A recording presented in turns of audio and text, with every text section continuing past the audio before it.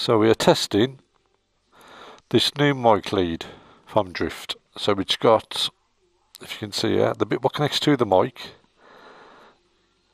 It's a 90 degree connector and also coming out of the connector, a USB.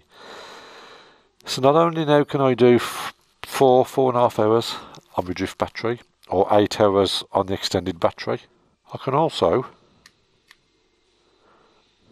it off an external power pack.